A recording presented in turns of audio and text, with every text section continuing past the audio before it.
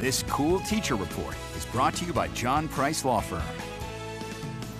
Students say she makes learning math fun and engaging, and earning incentives is a plus. River Oaks math interventionist teacher Dr. Andrea Hampton Mills is our Cool School Teacher of the Week.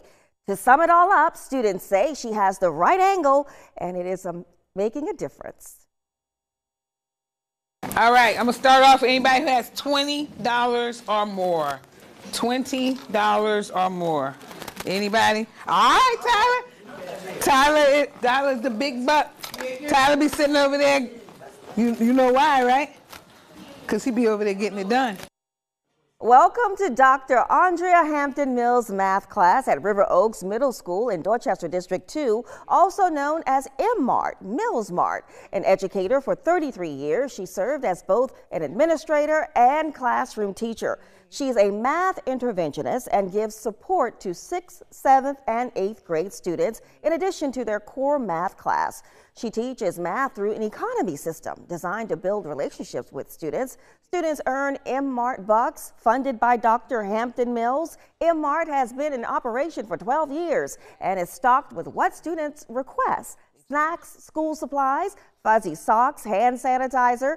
She says her class not only teaches math, but life skills as well. And students say it's the perfect formula. Thing I always tell them, I want you to learn the math, but what I really want you to do is I want you to be confident in yourselves. I want you to know that when you work hard, it pays off. And then when you don't do what you're supposed to do, you have to suffer a consequence. You have to be held accountable for that.